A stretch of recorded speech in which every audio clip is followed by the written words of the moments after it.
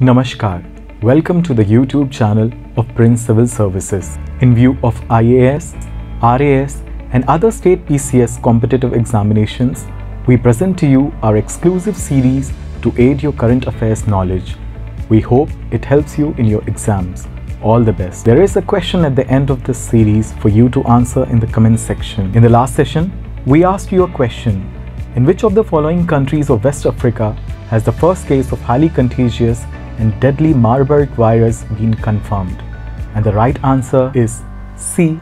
Guinea. In August 2021, confirmed the first case of the highly contagious and deadly Marburg virus in the West African country of Guinea. In Guinea, a patient suffering from this rare and infectious Marburg virus disease died. According to the World Health Organization, this is the first case of Ebola-like virus in West Africa. It may be recalled that the new virus has come to light within two months of Guinea announcing the end of the Ebola outbreak from the country early this year. Samples of the patients of the Marburg virus, which causes hemorrhage fever, were taken from Gueckedou town of Guinea. Gueckedou is the same region where Ebola spread in 2021 and that was the initial identity of Ebola in West Africa during 2014 16. It may be known that Gueckedou is a town near the border of Sierra Leone and Liberia in southern Guinea. Marburg is spread by fruit-eating bats. Now let's begin our today's session. Your first question is The Tamil Nadu government has decided to celebrate the death anniversary of which poet and freedom fighter as Mahakavi Divas? Your options are A. M.S. Subbulakshmi, B. V.N. Reddy, C. Subramaniam Bharti, or D.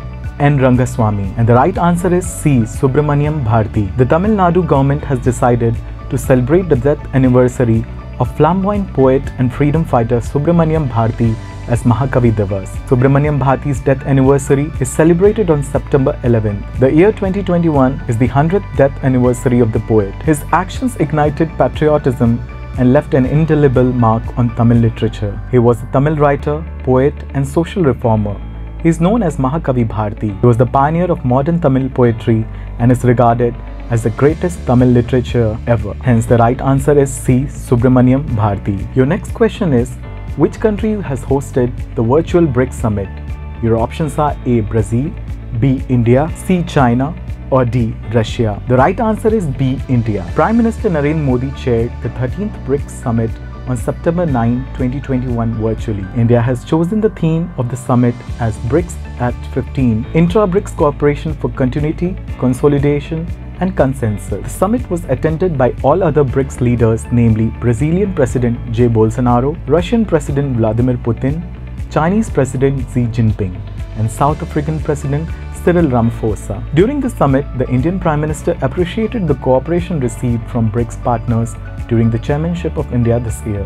Hence, the right answer is B. India. Your next question is with which country India has partnered to launch the Center of Excellence on Offshore Wind? Your options are A. Denmark, B. Sweden, C. Norwegia, or D. UK? And the right answer is A. Denmark. Union Minister for New and Renewable Energy R.K. Singh met Danish Minister for Climate, Energy and Utilities Dan Jorgensen in New Delhi. The meeting highlighted that green energy change is an important part of India's policy. India has set a target of 450 gigawatt of renewable energy capacity by 2030. The two ministers jointly launched the Center of Excellence on Offshore Wind under the Green Strategic Partnership. Hence, the right answer is A. Denmark. Your next question is On which date in September is celebrated as Himalayan Divas? Your options are A. September 5, B. September 6, C. September 8, or D. September 9? And the right answer is D. September 9. National Mission for Clean Ganga organized Himalayan Day on September 9, 2021 in collaboration with Naula Foundation. This year's theme is Contribution of Himalayas and Our Responsibilities. Himalayan Day is celebrated every year on 9 September in the state of Uttarakhand. It is celebrated with the objective of preserving the Himalayan ecosystem and region.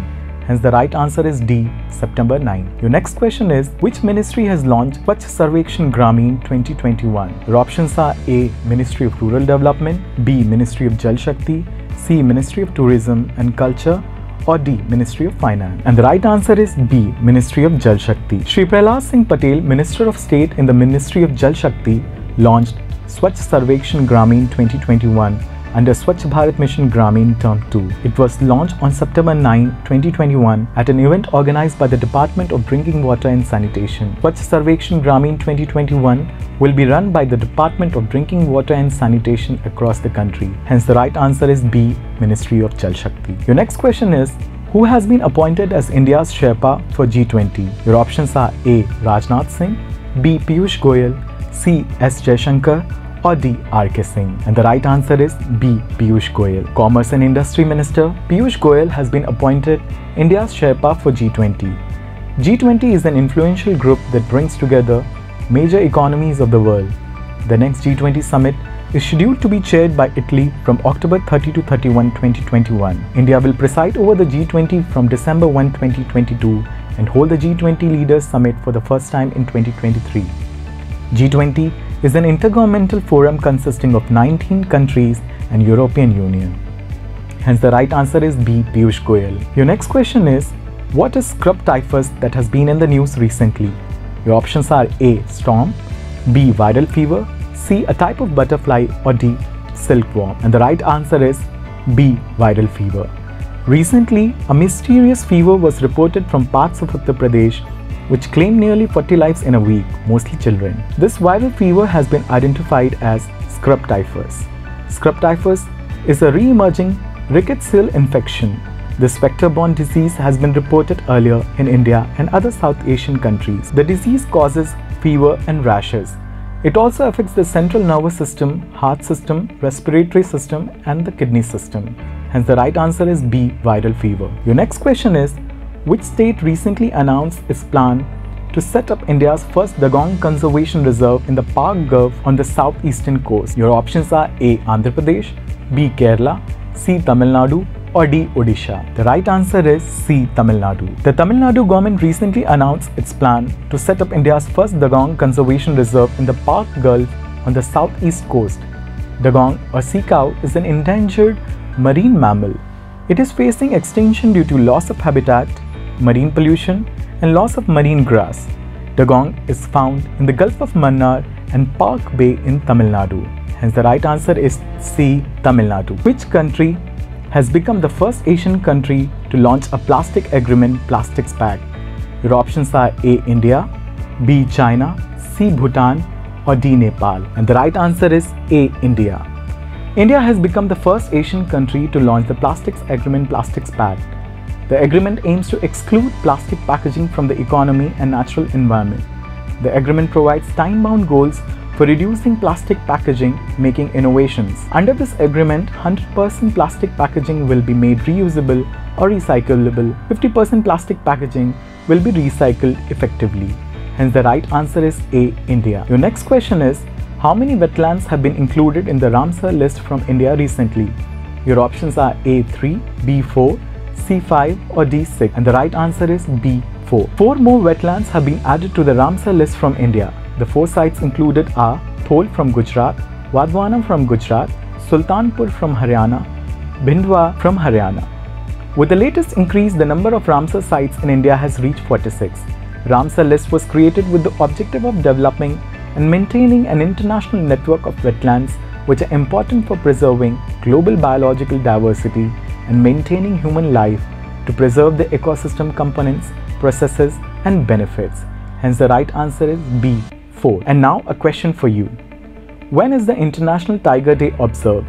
Your options are A. July 26, B. July 27, C. July 28 or D. July 29. Do not forget to answer in the comment section below. This session will be broadcasted 3 days a week, Monday, Wednesday, Friday. Please do like and subscribe our channel. Press the bell icon so you don't miss on our notifications. Thank you for being with us. Jai Hind.